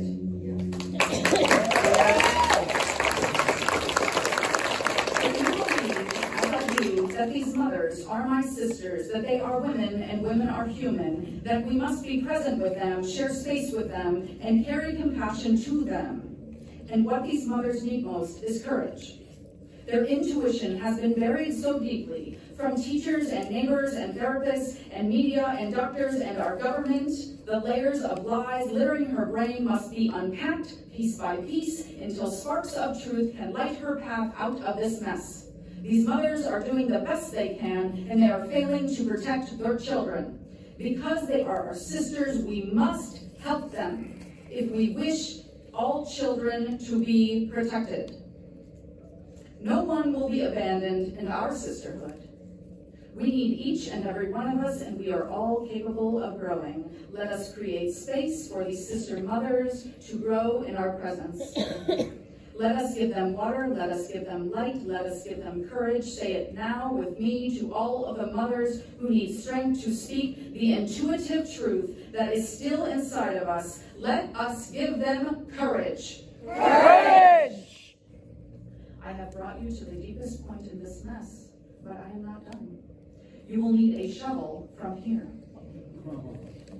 There is one mother who needs your strength of sisterhood and your courage and compassion. She is the wife of my husband, mm. the mother who has helped fertilize the vines that are choking my daughter. Before my daughter left our home for the last time on July 22nd, 2019, my daughter spoke with this mother, this licensed clinical social worker, this therapist, this woman with whom I had never even had one conversation. From this moment with my only child, this mother decided that she was going to save my daughter, being a warrior for her cause, filling her cup of virtue with my flesh and blood. This mother never called me. This mother never weaved a web of support for my daughter, strong ties of women who might guide her out of this mess, no. This mother built walls, and it became darker and darker for my daughter. Yep. Having left her sunshine at our home on that day in July when she departed, and I didn't know she would never return again. There was a plan, and this mother, this gardener of weeds, guided my daughter through a dark forest, disorienting her, taking her adolescent thought of, I think I'm trans, and rather than using the brain that the good goddess gave her, she pulled out poison. This mother fed my daughter the lie that my transphobia might actually kill her, that my truth might actually shine so much light that it would burn her, and that my love needed to be replaced by the hollowness of validation by words, not deeds. No child will kill herself if she hears her birth name. Our girls are stronger than that. Mm-hmm. I am tired of too many people telling them they are weak, they are not. Mm-hmm. My daughter will rise. Yes. She will not stay buried under this mess. She is incapable of staying stagnant inside the lie that is transgenderism. That's right. She will grow. Yes. The seeds have been planted, and even before she left our home, I saw signs. Mm-hmm. When this mother asked my daughter over text, maybe your mom thinks she's a man. Yeah. Oh, God. My daughter could not stop herself from writing in all caps, my mother would never think that.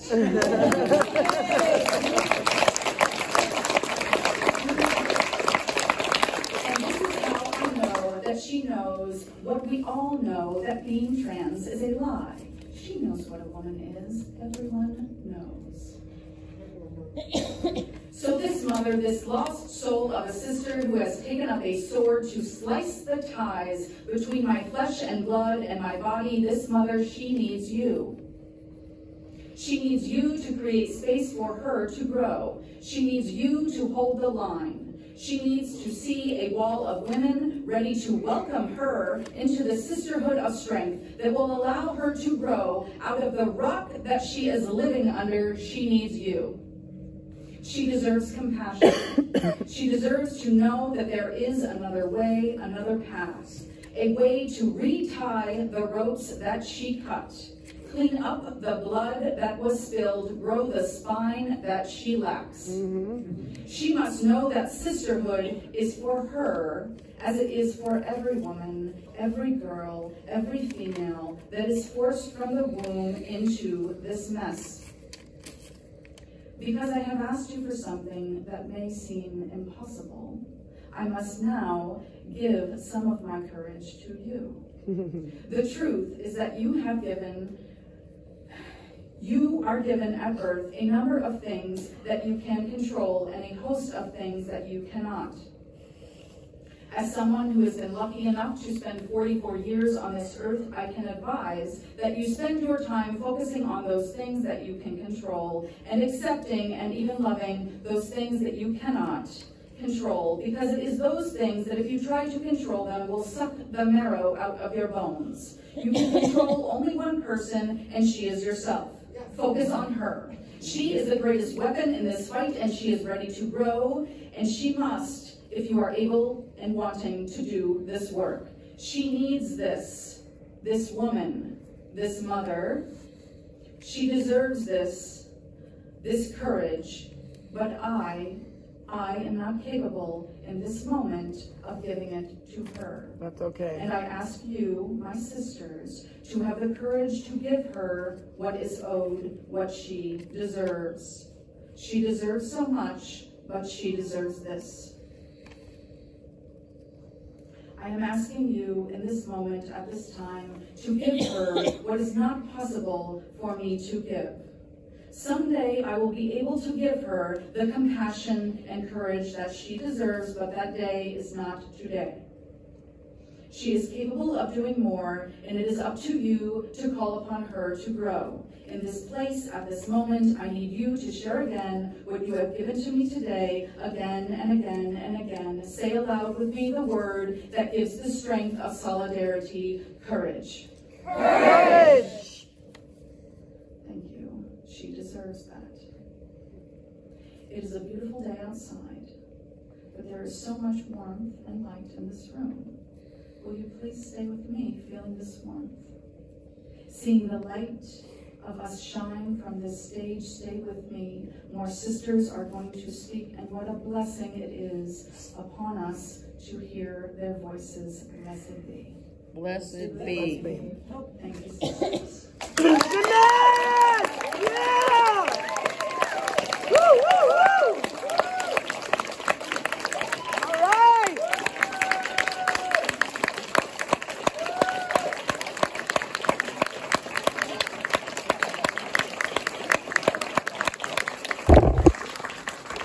Okay, fantastic, Jeannette. Uh, Thank you. Next up is our final speaker.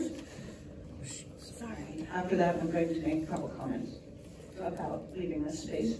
Uh, Jesika Gonzalez is an ordinary, working class woman Extraordinary. Ordinary. and the founder of the Mysterious TERF Collective. Yeah, TERF Collective! An Collective! organization pursuing guerrilla approaches to fighting trans ideology. She invites women to imagine a future free of the impositions and requirements of the patriarchy. Thank you, and please welcome Jesika. All right, Jesika!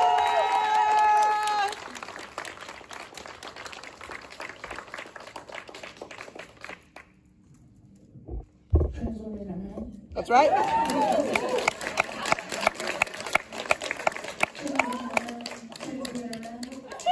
First order of business. My name is Jesika Gonzalez, and I'm not scared of shit. Yeah! The name of this event is Courage Calls to Courage, and I want to use this time I have to call on your courage. My personal opinion is that we do not have enough women that have shown up to be counted in this fight, and we will need many more in order to win, and the sooner they show up, the better. Mm-hmm. There are men that stand against the agenda of trans ideology and conservatives that stand against it too. But I believe that for our success on this issue, to be genuinely emancipatory, we will need more women. Yes. Yes. We will need to show up to build that critical mass that it will take. There's simply no way around that.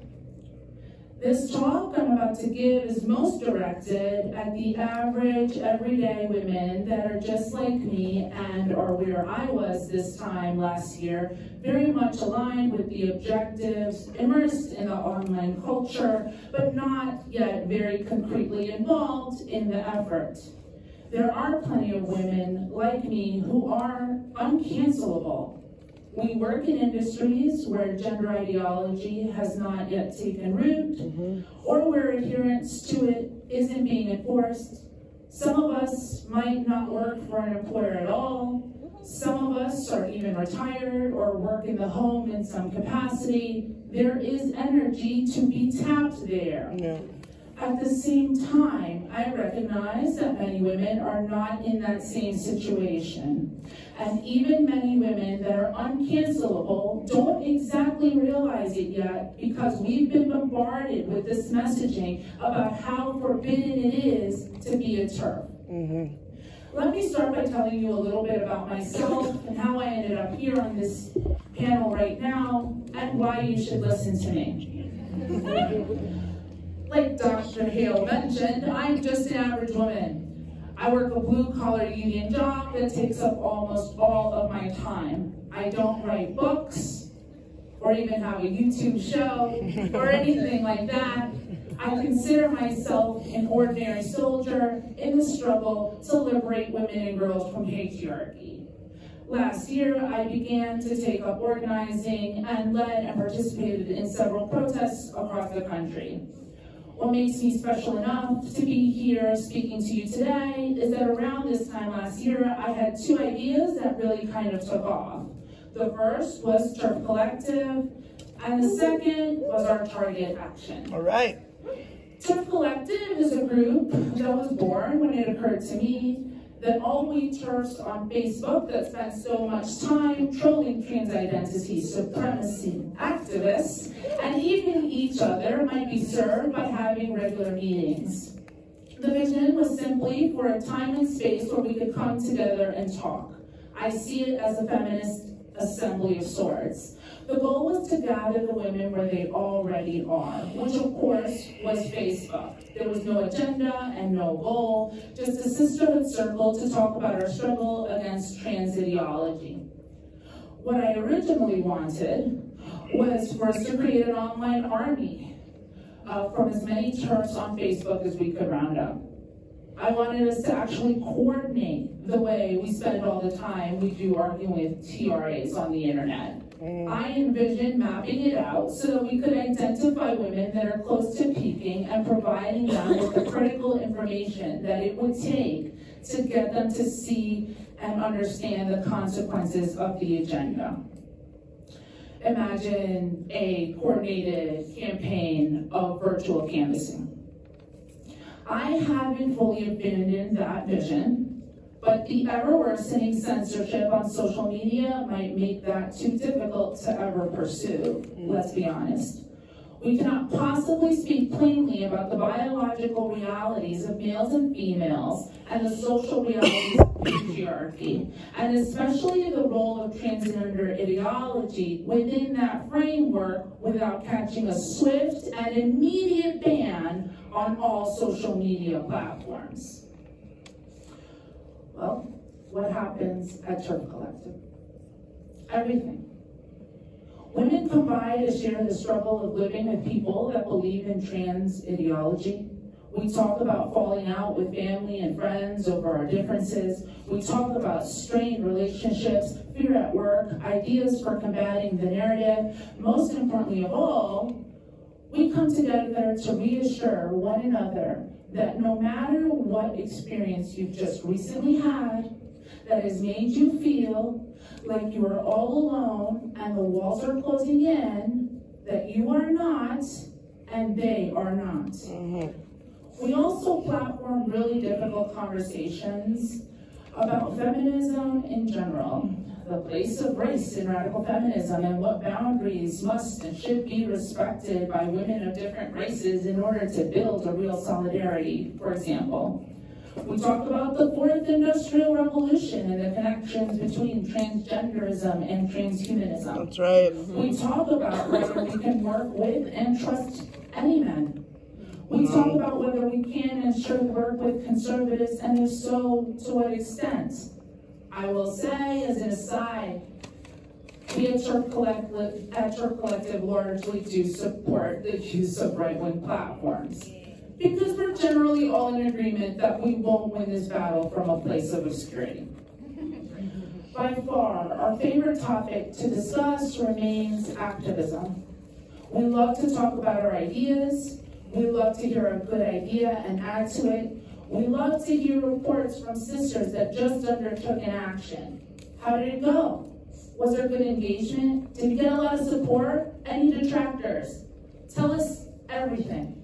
We have nowhere to go. We can be here all night. TERF Collective now boasts over 600 members across two Facebook groups with several dozen attending our regular meetings. Nice. Although our meetings are the main thrust of our existence, many of our members have never been to them. They just work on our campaigns and protests completely out of sight and remain unknown even to other members. Mm-hmm. Before I go any further, I'd like to briefly address our embracing the term TERF. I've said what I'm about to say before. Women are being re-traumatized at rape crisis centers and support groups, sexually assaulted by so-called lesbian men in single-sex spaces, and all our hard-earned social and political allocations, even sports and scholarships are all being hemorrhaged. At a time like this, we refuse to be diverted into a debate about being called TERFs. In fact, if standing for the dignity of those women makes us TERFs, I've said this before and will say it a thousand times, we would be deeply ashamed indeed not to be TERFs.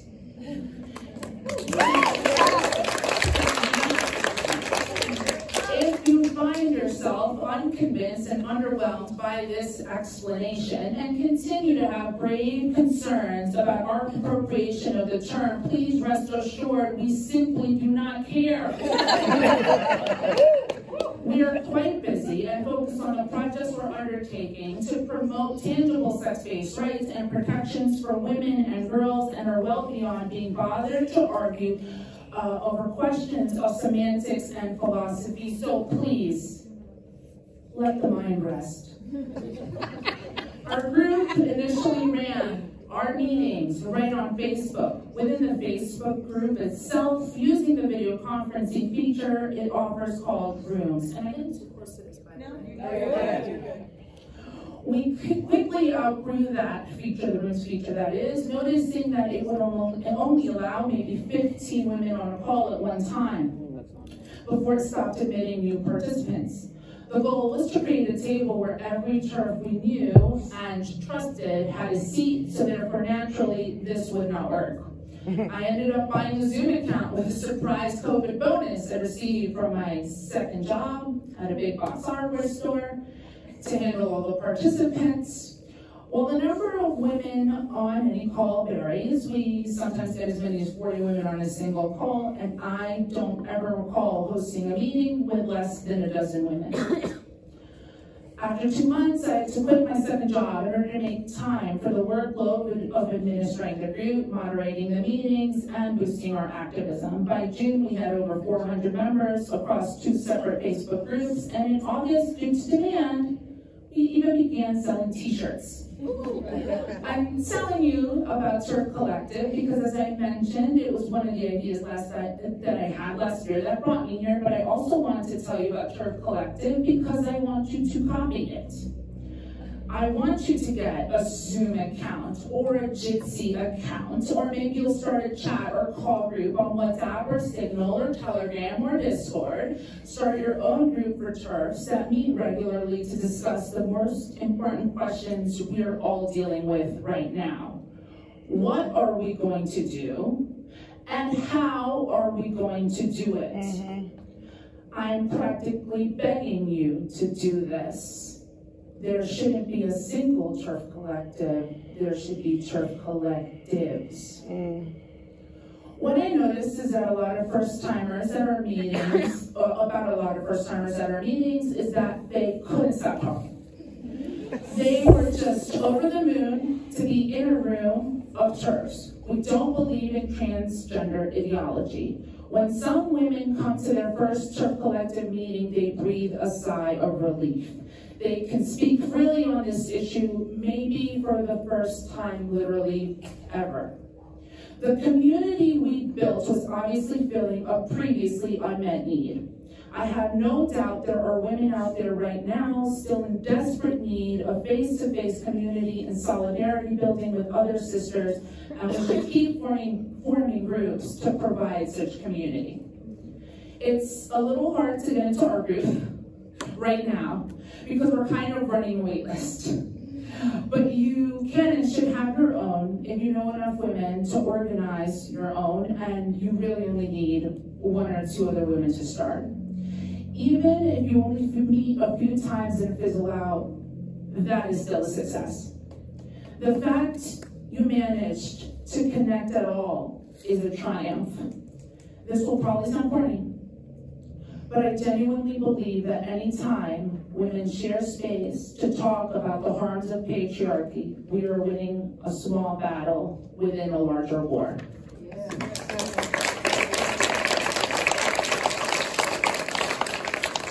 If you're not currently in a women's discussion group, please do whatever you can to find your way to one. Women's Declaration International runs an amazing group after their weekly feminist question time sessions where I've met some incredible women. They're also branching out into general discussion groups for non women here in the States, and they have regular volunteer meetings just try to go to a bunch of meetings. Whichever ones you can get into and start talking to other women that share your views on this issue. Listen to their ideas and share your own. Share what's holding you back. Share the limitations that you already recognize in yourself and share what you have to offer. Be earnest and be honest. Before I move on from this topic, uh, I would be remiss if I didn't take the time to acknowledge the great debt the TERF Collective owes Thistle Pettersen. Thistle is, of course, why we're all in Madison, Wisconsin today.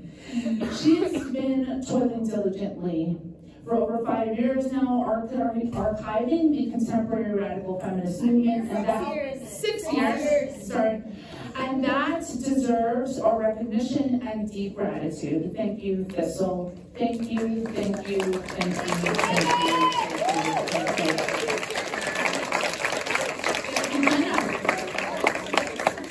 Oh, there you are. Radical feminism will indeed remember Thistle Pettersen. Thistle was one of our first members and remains one of our most enthusiastic supporters. She was the first to give me a platform and have me speak about TERF Collective. She was the first person in a position to take TERF Collective seriously that did take TERF Collective seriously. She was very important to TERF Collective and to the movement in general. This past summer, Thistle, as we all know, was charged in the city for a crime that doesn't yet even exist in this jurisdiction namely hate speech, specifically around the nebulous and farcical notion of gender identity. This charge was brought on the basis of her having allegedly placed a TERF Collective sticker on a magazine box. To this day, I still have no earthly idea who put that fucking sticker there. that same box.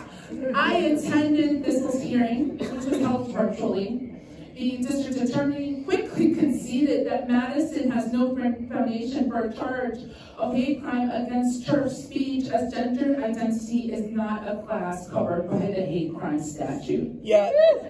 The judge held that the speech was protected by the First Amendment. With that, Thistle was the woman that single-handedly showed in the court of law that TERF Collective won't leash. The original vision for Collective Collective was just a sort of headquarters for Facebook Church. In early June, I had an idea that would change who we are and what we do. This brings me to the second good idea I had last year, our target action. In 2016, Target decided to get ahead of the curve in its support of trans ideology and changed its bathroom policy. The new policy meant that everyone could use the bathroom and changing rooms matching their gender identity and not their sex. American conservatives have carried out a massive boycott of Target in response to this new policy. Well, ultimately, the boycott was determined to have a bit of an impact on Target's profits. It was not enough to force them to change their policy, not even close. In 2018, the man that runs the website womanmeansomething.com collected all the news reports of sexual assaults that had taken place within Target stores since the new bathroom policy was imposed. What he found once we collected all the data was that there was indeed an increase in incidences of voyeurism in changing rooms since Target had announced the policy. Upon stumbling upon an article about this, I thought that Target should protest by placing many flyers with information from the study at Target stores. Naturally, I figured these should go to bathrooms. There, the information would be presented at the scenes of the crime, so to speak.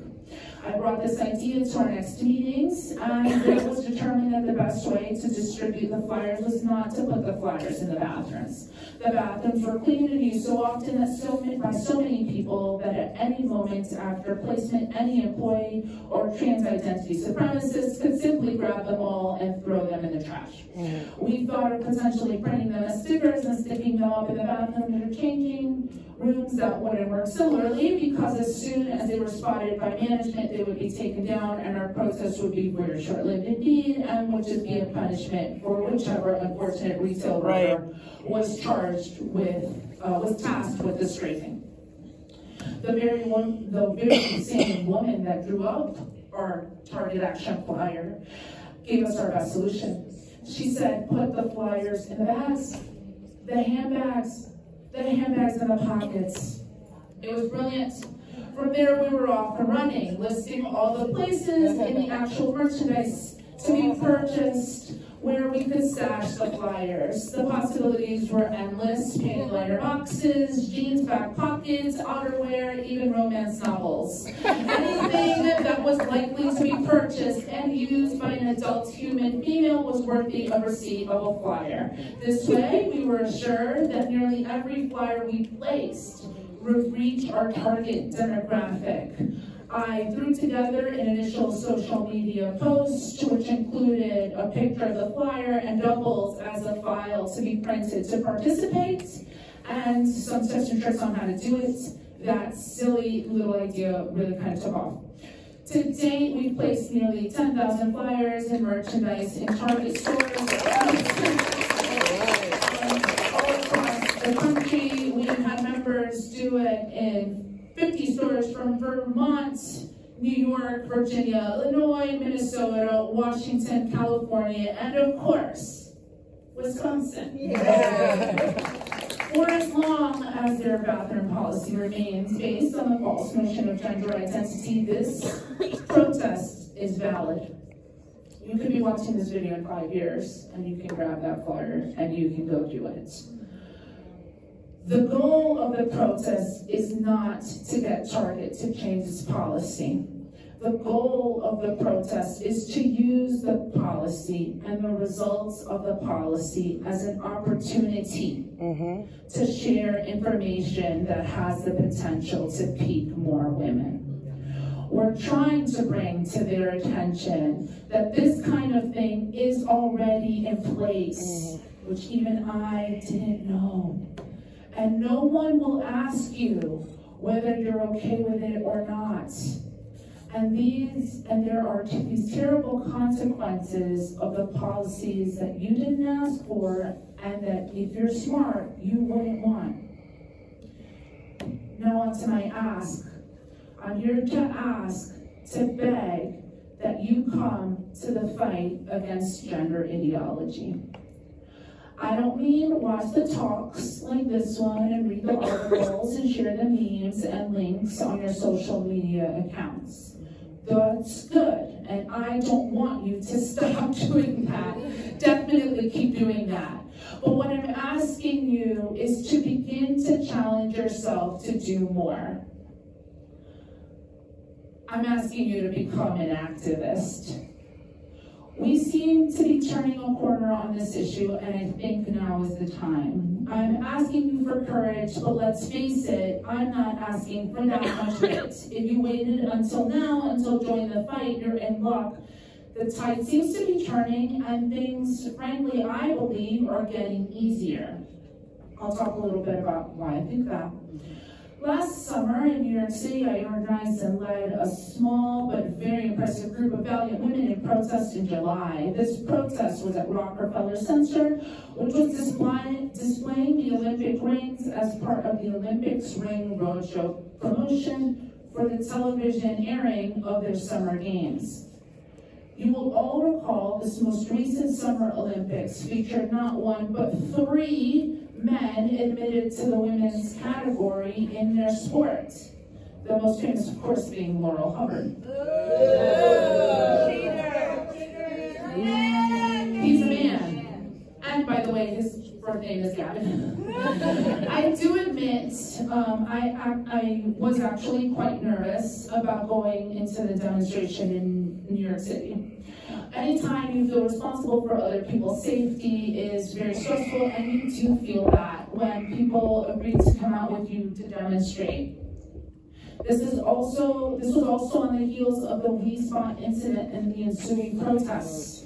Everyone will remember the Wi Spa incident where a man named Darren Merager entered the women's area naked at a Los Angeles spa, exposing himself to several women and even a young girl a woman that, to the best of my knowledge, remains largely known by her Instagram handle, Cubana Angel, uploaded footage of herself and other women confronting Wi Spa staff over the presence of a man in the women's area. Cubana Angel called for a protest of Wi Spa on her social media, and my understanding is two actually took place but I've only um, watched footage from one, I have to admit, it, it really was terrifying.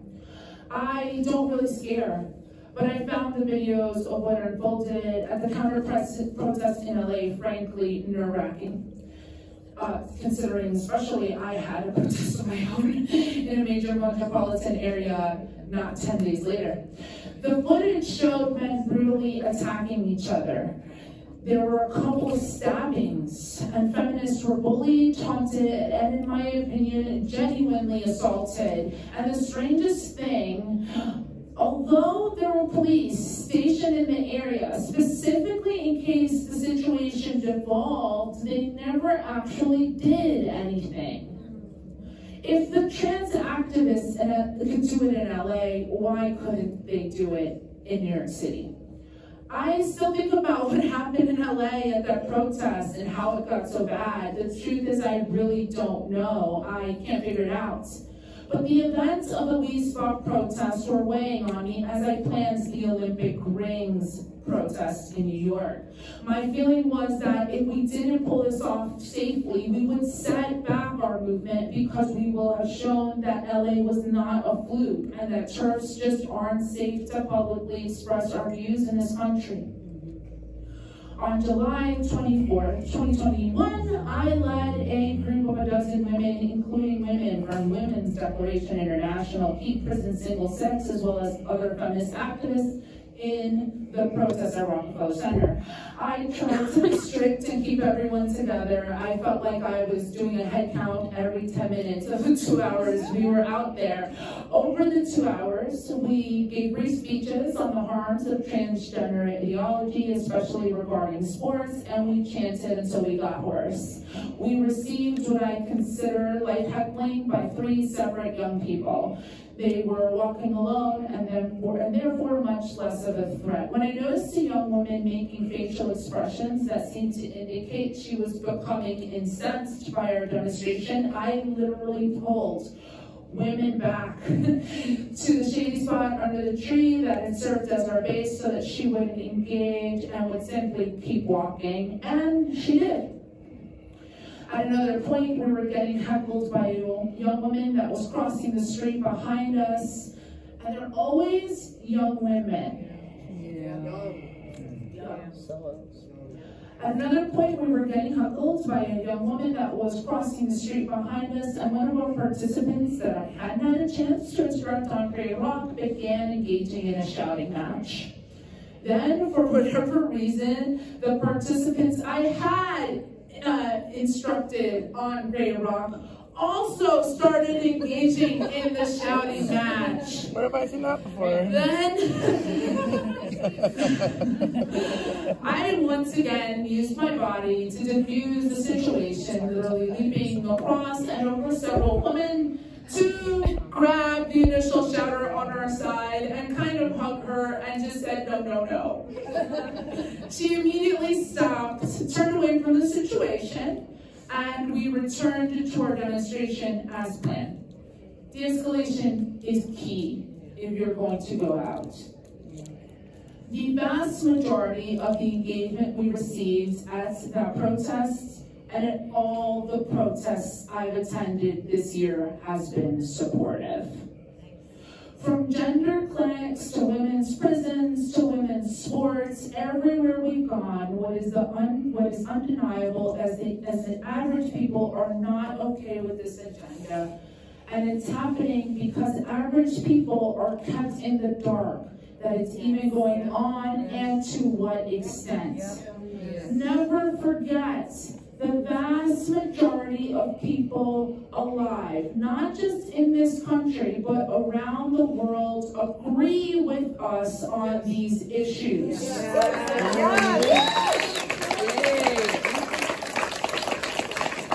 Always let that truth give you strength. I firmly believe that if you make a good plan, you can have safe church protest just about anywhere in this country. Absolutely. Use your discretion. Use your best judgment. I, that's what I believe. That's what I believe. I can't overemphasize the planning part.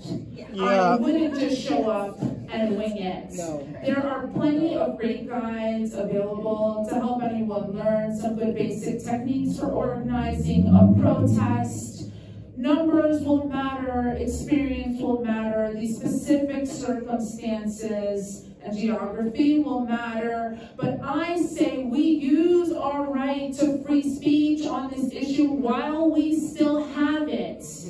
As we learn from what they did to Thistle, they are so desperate to take even that away that they're not beyond leveraging non-existent laws to do so. I attended a talk last month also near City held by the Center for Bioethics and Culture. The talk was titled How Gender Harms Women and Girls. The most disruptive thing that happened at this talk was that my phone went off and started playing electronic dance music right at the start of Natasha Chart's remarks. My sincerest apologies to Natasha Chart and of course the organizer Jennifer Lahl. Other than me being me at this talk, it went off as scheduled, without disruption, interruption, and without any danger. As we arrived at the hotel where the talk was held, there were maybe a half a dozen uh, protesters outside. They were tame. From what I remember, they were almost all women. Again, they're always women. They held signs that read, lesbians for trans women. The signs might as well have read straight women or lesbians for men. but I, I didn't have any signs of my own, but determined not to be out demonstrated, I started chanting, keep prison single sex, keep prison single sex, keep prison single sex. The worst thing I overheard one of them say was, you know, you're really sad. But that was it.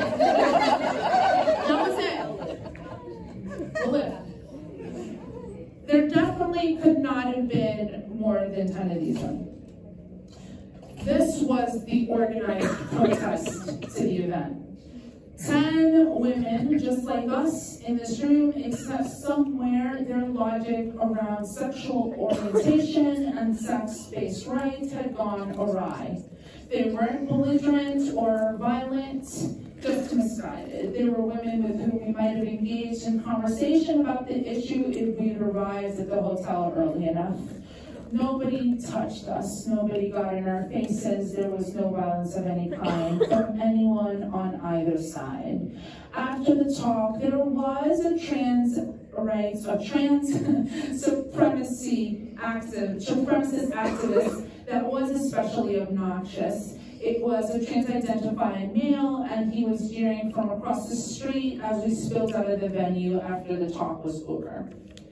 He was young, appearing to be maybe in his early 20s. I assume the hotel staff had ushered him across the street, but I really don't know.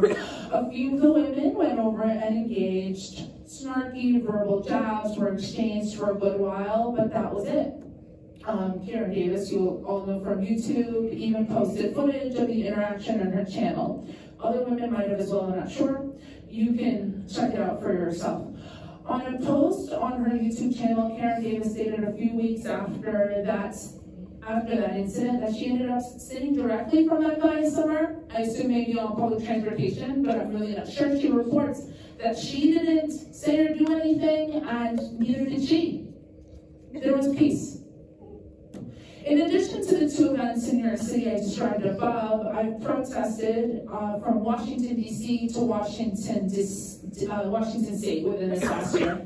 Luckily, there's been no violence or what I consider genuinely intimidating harassment of at any of these seven, maybe more, Church Street demonstrations I've attended this year. They've been extremely annoying, but I've never felt physical fear. Um, I mentioned before the, that the vast majority of this response we get is supportive.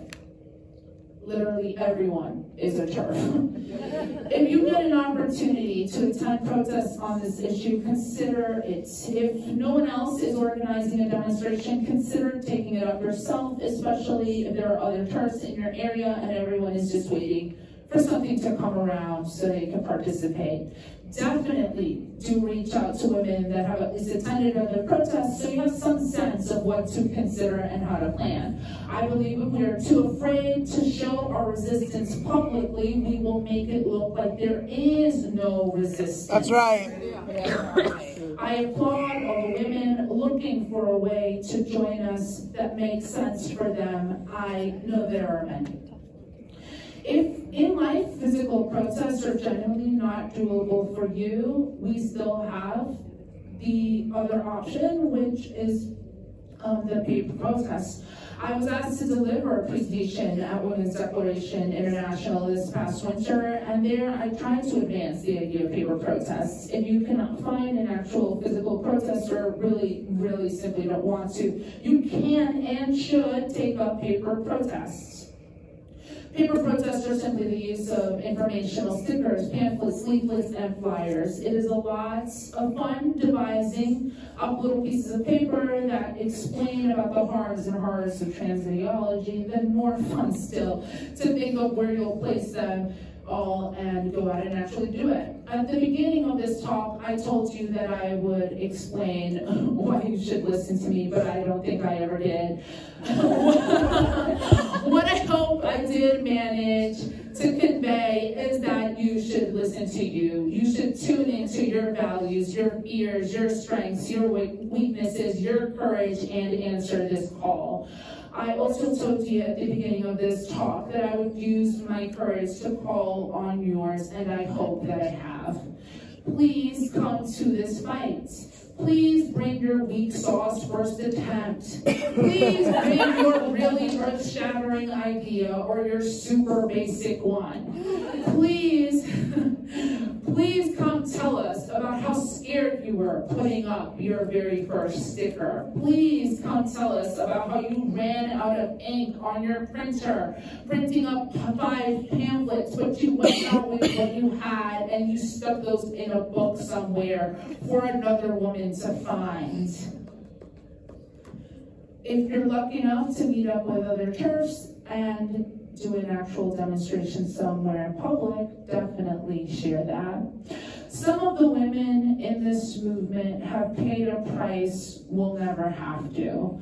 They were doing this work before the term TERF even existed to drive us all together. They were doing it when it really, really was completely sad and lonely and isolated. They did it so the rest of us didn't have to, and for that, we owe them.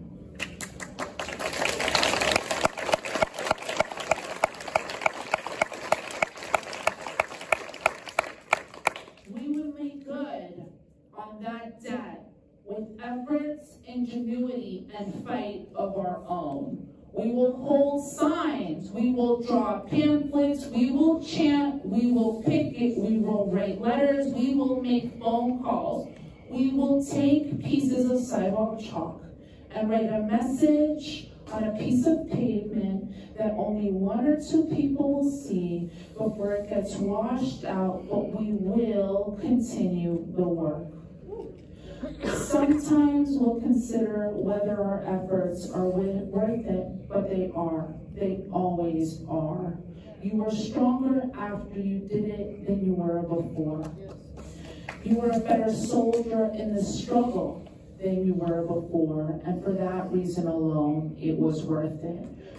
Courage is a muscle. If you've never right. used it before, it will be weak. It will ache at first use. Over time, it will get stronger. Over time, you will get better. Over time, we'll all get better. We'll keep leveling up and picking more women and spreading a message until one day we will finally win. Your participation can make the difference now.